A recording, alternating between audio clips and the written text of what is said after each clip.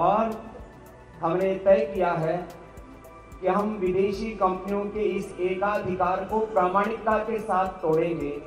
लेकिन दस हज़ार करोड़ से ज़्यादा टर्नओवर वाली एफएमसीजी कंपनी बन चुकी पतंजलि की कामयाबी कारोबार जगत के लिए एक मिसाल है। देखिए सबसे खास चीज़ जो पतंजलि ने की एक फेवरेबल इन्वायरमेंट इनको मिला था, स्वदेशी का।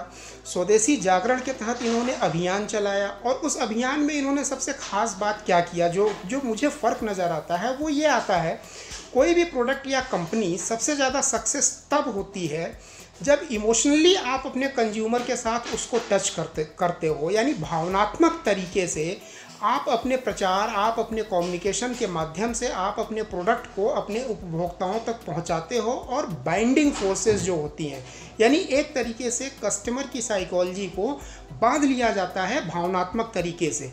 ये मतलब सफलता का चरम होता है। रुचि सोया का पतंजलि ग्रुप ने दिसंबर 2019 में अधिग्रहण किया था। एफएमसीजी मार्केट के लिहाज से ये एक बहुत बड़ा कदम था। मतलब एक ब्रांड को इस्टेब्लिश करने में आप देखिए तो 10-20 साल लग जाते हैं। तो एक तो टाइम की सेविंग होती है और जब वो ब्रांड जो है आपके पास आता है तो उसके जितने भी टेंजिबल और इंटेंजिबल एसेट्स हैं।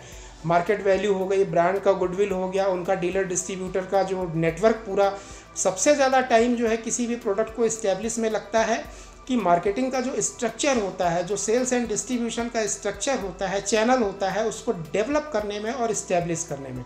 तो पूरे के पूरे मार्केट का जो चैनल है, वो भी आपके पास आ जाता है। जब ये तीन चीज़ें मिल जाती हैं या ये इन तीन चीज़ों का एडिशनल वैल्यू वैल्यू एडिशन हो जाता है पेरेंट कंपनी के पास तो उसकी जो स्पीड होती है, वो और भी ग्रोथ की जो स्पीड होती है, वो बहुत तेज़ी से आगे जो है बढ़ना शुरू कर देती है।